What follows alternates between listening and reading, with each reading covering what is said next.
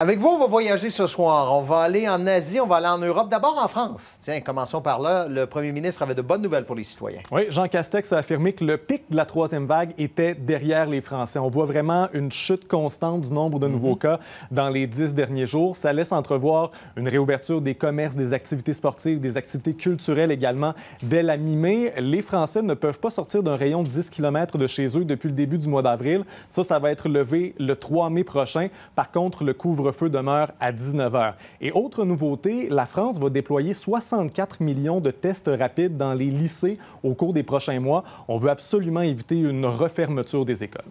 Euh, Allemagne, euh, on va acheter j'ai bien compris, 30 millions de doses du Sputnik. Oui, le Sputnik V, le vaccin russe, il y a quelques 61 pays qui l'ont autorisé jusqu'à maintenant, mais il n'y a pas de percée vers l'Ouest encore. On sera en Hongrie, on sera en Slovaquie, mais pas vers l'Europe de l'Ouest parce que l'Union européenne n'a pas encore donné le feu vert au vaccin. L'Allemagne est intéressée. Ils ont donc précommandé 30 millions de doses, trois cargaisons de 10 millions qui vont arriver en juin, en juillet et au mois d'août. Le pari allemand, c'est que le vaccin soit approuvé d'ici le mois prochain, donc dès le mois de mai.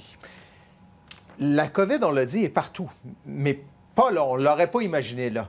Euh, au camp de base de l'Everest. Oui, on pensait que c'était un édème pulmonaire dû à la haute altitude. On a transféré le patient vers un hôpital de Katmandou au Népal par hélicoptère et on s'est rendu compte à ce moment-là que c'était bel et bien la COVID. Donc, toute son équipe d'expédition a été mise en quarantaine au camp de base de l'Everest. Pour l'instant, la saison grimpe n'est pas compromise. Il y a quelques 340 personnes qui ont obtenu un permis pour monter au sommet de l'Everest cette année. C'est presque autant qu'en 2019 et l'an dernier, il y en a eu zéro. C'était interdit. Donc, les touristes qui arrivent au Népal doivent présenter un test PCR négatif, faire une courte quarantaine à l'hôtel. Mais pour l'instant, ça va de l'avant. On continue avec l'ascension de l'Everest. Incroyable. Oui.